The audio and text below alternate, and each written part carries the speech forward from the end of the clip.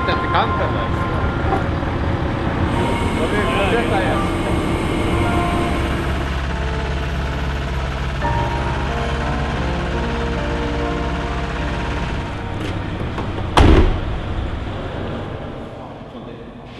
Ja, det kommer väl det där landet. 11, halv 12, så 12 tror jag.